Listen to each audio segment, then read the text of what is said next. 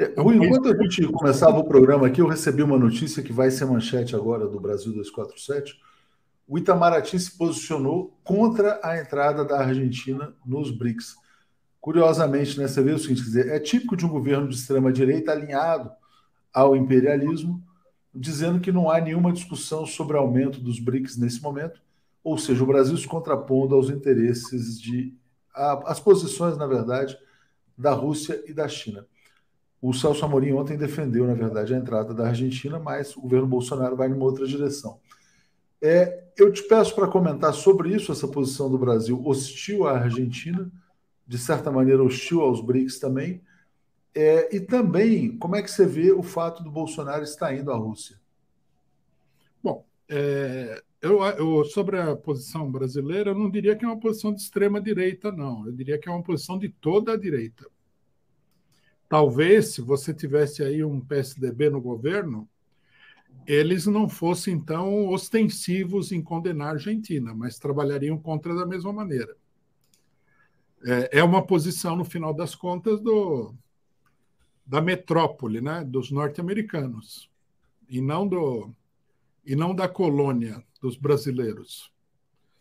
É, acho que isso aí mostra, inclusive, na condenação do Bolsonaro, que não é por acaso, vem diretamente dos Estados Unidos, não pode haver nenhuma dúvida sobre isso, mostra a preocupação com a desintegração, né?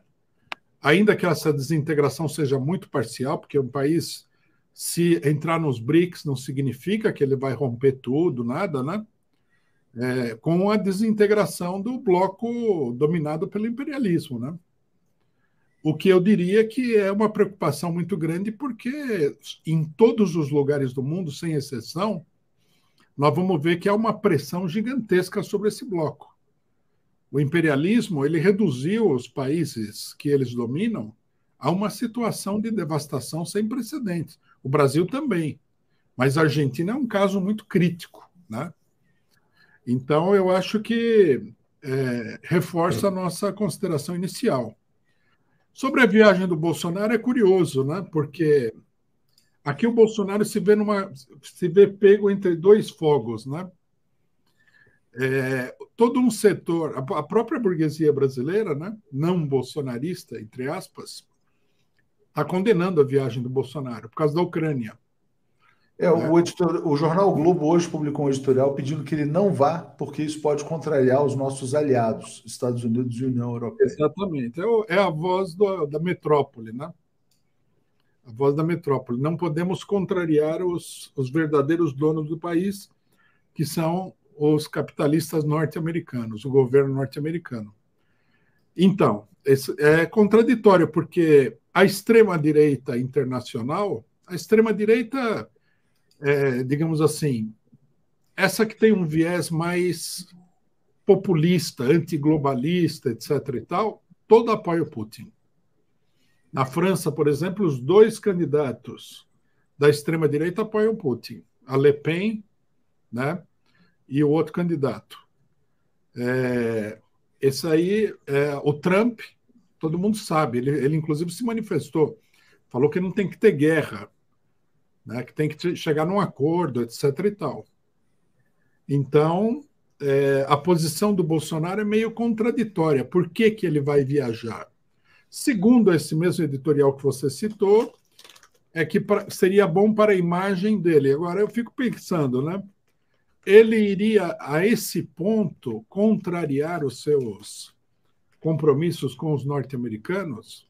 O alinhamento dele com o Trump é tão profundo que ele recebeu luz verde do Trump para ir à, à Rússia nesse momento aqui, se opor, etc. e tal.